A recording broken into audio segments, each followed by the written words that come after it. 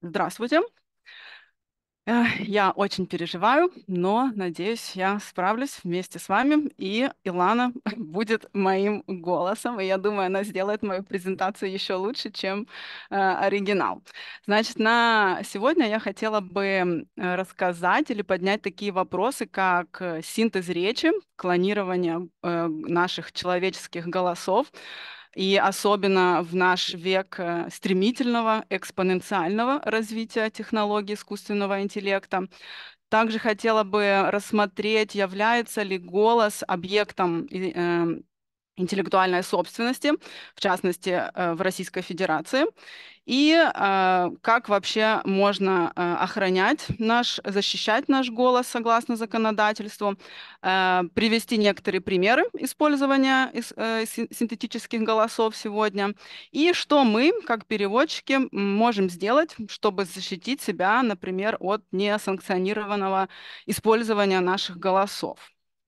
И давайте начнем. Начну сразу же со сложной цитаты, но вы видели ее э, в, в глоссаре, который я вам отправила.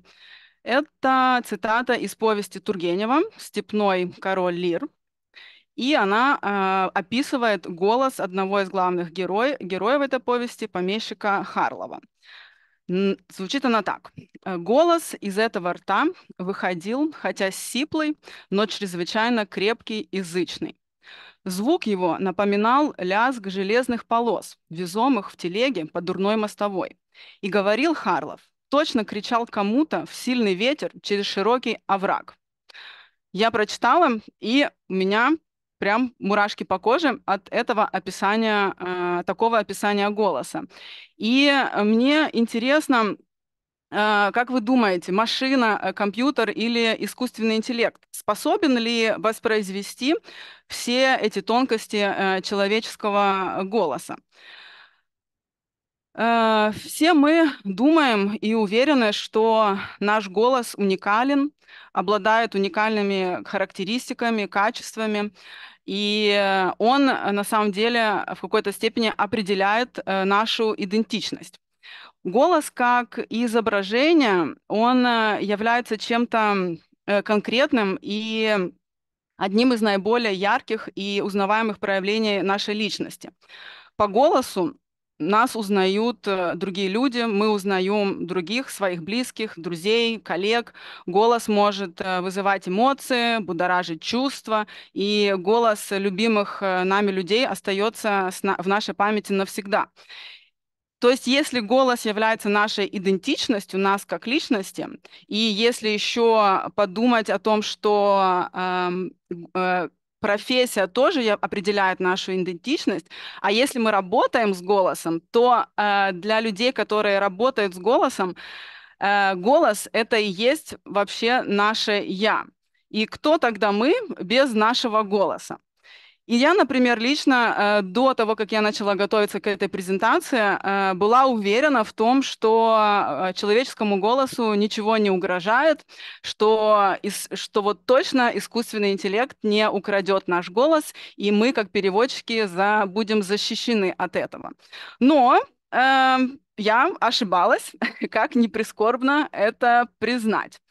Потому что эм, сегодня мы видим, что искусственный интеллект он э, открыл э, ящик Пандоры.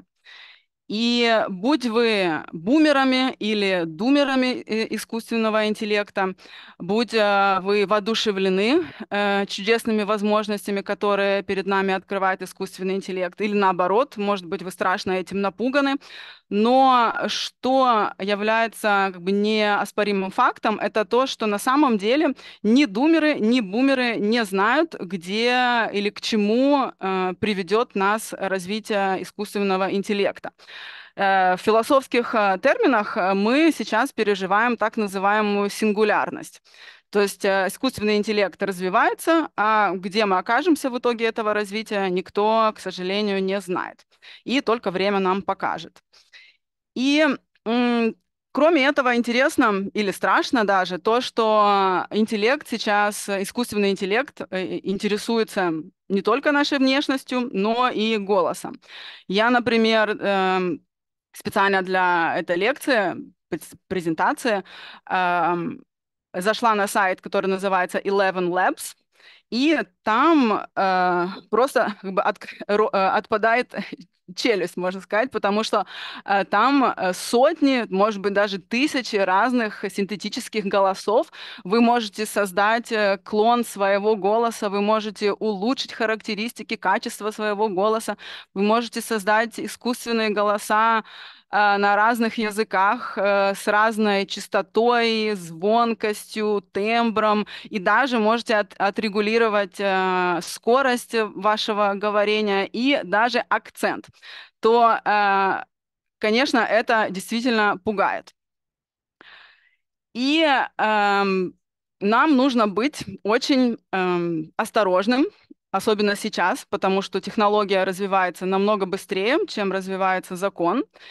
И э, чтобы мы не оказались э, в такой не особо приятной ситуации, как оказалась Джоан э, в одном из эпизодов э, сериала «Черное зеркало».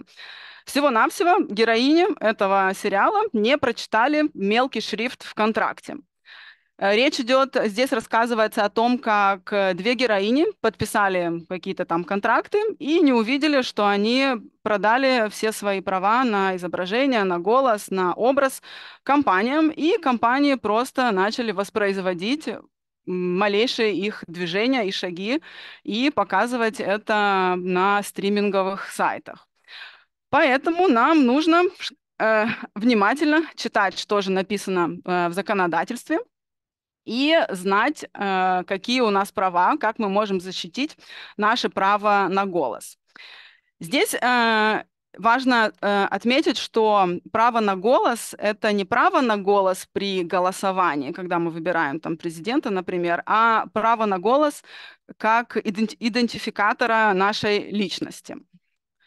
И я, к сожалению, успела только рассмотреть законодательство Российской Федерации и вскользь упомяну другие страны.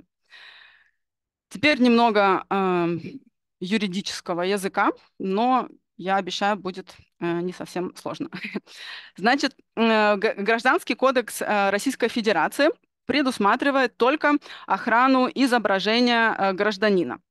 Но э, об охране голоса как такового в кодексе речи не идет.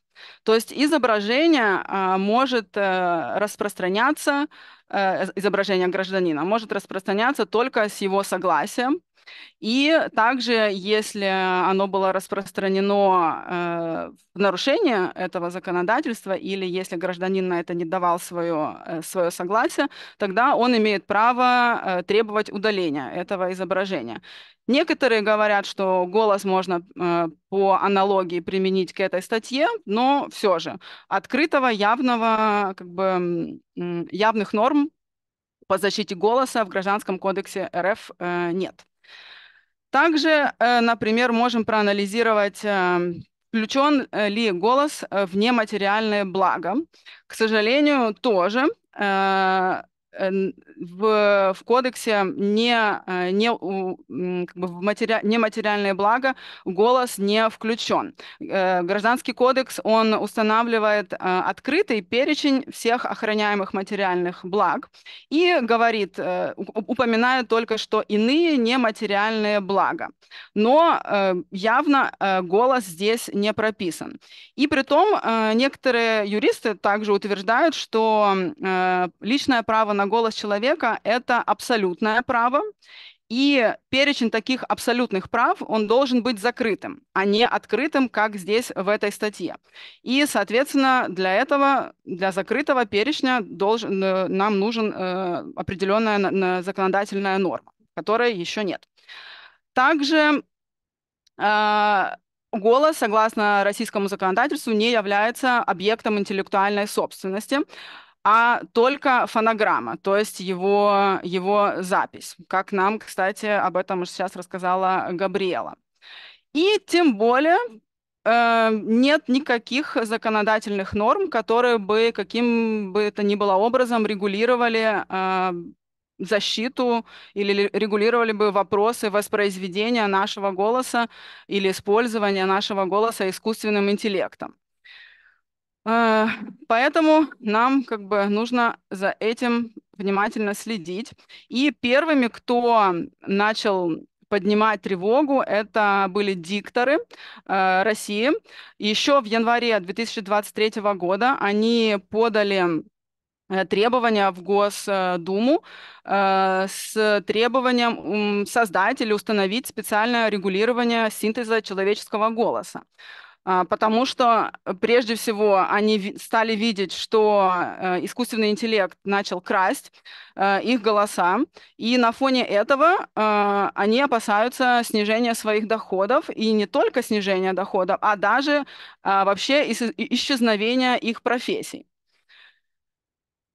И что э, российскому законодательству нужно было бы сделать, как рекомендуют э, юристы, это включить голос или право на голос в объекты э, нема- э, как в нематериальные блага, то есть в объекты личных неимущественных прав гражданина, или э, в права, на лич... э, в права личности или личные права, как это уже сделано во многих других странах. И права личности в этих странах включают право на имя, голос, изображение, образ и, может быть, еще какие-то моменты. И, например, это уже э, э, голос включен в такую категорию в таких странах, как э, США, Германия, Франция, Швейцария, все скандинавские стравы, страны, Украина, кстати, Бразилия, Эквадор, Перу. Вот, поэтому надеюсь, что скоро в России тоже такое будет. А, Очень интересный и решающий момент, я бы даже сказала, важнейшей вехой в регулировании этого вопроса является эм, законопроект, который буквально на прошлой неделе э, был подан на рассмотрение в Конгресс США, э, который называется No AI Fraud Act, э, законопроект о защите граждан от дипфейков. И этот законопроект, э, мне, мне кажется, он является первым в своем роде. Он предусматривает наказание за использование генеративного искусственного интеллекта и машинного обучения для копирования образов и голосов без согласия людей. Также он э, признает за физическими лицами абсолютное право собственности на их внешний вид и голос. Передача этого права может осуществляться только согласие э, только самим физическим лицом. И что интересно, при, э, при этом авторские права не прекращают действовать и после смерти человека. Так что это был первый шаг, серьезный шаг э, в решении этого вопроса. И я думаю, все мы должны следить за развитием событий. И что привело на мой взгляд, э, к созданию подобного законопроекта, это одно, один, одним из первых толчков, э, толч, толчков э, послужила забастовка гильдии сценаристов и актеров Голливуда, которая началась в мае, в мае 2023 года и продлилась почти 100-150 дней. Она закончилась вот совсем недавно, в прошлом году, 8, 8 ноября. И одной из главных проблем, которую поднимали сценаристы и актеры, это было как раз использование ИИ. В результате профсоюзы смогли достигнуть э, того, чего они добивались. Э, и э, теперь э, сценаристы могут использовать искусственный интеллект только если позволит студия. Сама студия не имеет права заставлять работников использовать искусственный интеллект. Также студии должны предупреждать, если они использовали искусственный интеллект в своей работе. И, кроме того, искусственный интеллект не имеет права использовать э, материал о сцена или сценарии, созданные э, людьми, в, э, в обучении своего искусственного интеллекта. Э, и для актеров искусств... студии могут использовать искусственный интеллект только с их согласия и при этом еще и компенсировать создание цифровой версии образа артиста. Ну и образ, соответственно, включает тоже голос. Теперь давайте немножко я вам расскажу о положительных сторонах э, клонирования голоса. Например, э, мы, как потребители, выигрываем, э, с одной стороны, конечно же, мы, как потребители, бизнес тоже. Все мы любим слушать аудиокни... аудиокниги, некоторые из нас, э, из нас любят смотреть э, дублированные фильмы, и у всех у нас есть э, сотни, ну не сотни, ну десятки приложений на телефоне. И э, представьте себе, что вы можете слушать аудиокниги на всех языках мира, голосами ваших любимых э, знаменитостей, и при том, что эти знаменитости могут говорить на других языках, на которых они в реальной жизни не говорят.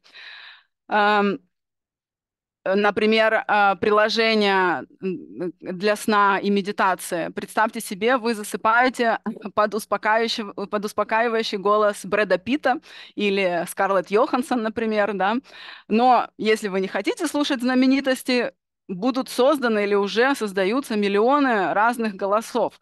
То есть э, вы можете выбирать, с кем вы хотите, грубо говоря, засыпать, а, чью книгу, под, э, каким голосом вы хотите слушать вашу любимую книгу или фильм. И, кстати, также, если автор эм, автор вашей любимой книги родился в 20 веке, и есть какие-то примеры э, записи его голоса, но, к сожалению, он уже умер и не может записать, да, э, вам озвучить вашу аудиокнигу, вы, а, искусственный интеллект может восстановить его голос. То это тоже действительно что то, чего многие из нас бы хотели. Но обратная сторона медали в том, что где э, или куда девать всех наших а, актеров озвучки, актеров дубляжа, дикторов, э, актеров просто, если искусственный интеллект полностью может заменить их голоса. И не только голоса, а даже их э, изображение и их образ. Например, э, недавно, под Рождество, э, приложение Calm выпустила такую себе сказку на ночь, рождественскую сказку на ночь с голосом а, американского известного актера э, Джимми Стюарта. Он уже умер, и искусственный интеллект полностью воспроизвел его голос. Можем ради интереса заслушать его голос. Надеюсь, вам будет слышно. Well, hello. I'm James Stewart. But, well, you can call me Jimmy. Tonight, I'm going to tell you a story. It's a heartwarming story of love. И это действительно поражает. Скажите, если можно это сделать с миллионами любых голосов, это, конечно, невероятно. Следующим интересным применением искусственных голосов сегодня является использование этих синтетических э, клонированных голосов в так называемых э, ботах скорби. Э, что это значит? Боты, искусственный интеллект создает голоса ваших умерших близких, и вы продолжаете с ними разговаривать после их, после их смерти. Некоторые терапевты, психотерапевты говорят, что это полезно, и это помогает э, принять боль утраты и побороться, побороть, э, э, как-то, побор, э, принять ваше горе. Также невероятным применением является то, что мы можем вернуть себе голос. Например, э, Вэл Килмер, он потерял свой голос после перенесенного рака гортани, и для фильма «Топ Ган» искусственный интеллект восстановил его голос по, э, по уже име, имеющимся записям его голоса в старых фильмах. Небольшое, здесь совсем чуть-чуть. The Navy needs Maverick. And this... Вот такое, такие чудеса искусственный интеллект может выполнять. И теперь перейдем к голосу, как мы можем защитить себя как переводчики. Мо Гавдат, бывший директор по развитию бизнеса, считает, что мы уже выпустили джина из бутылки, и он говорит, что к 2045 году искусственный интеллект станет на, э, в миллиард раз умнее человека. И это действительно э, страшно, потому что если он в миллиард раз э, умнее нас, то как мы можем вообще с ним бороться? Поэтому я думаю, что бороться мы с этим не можем.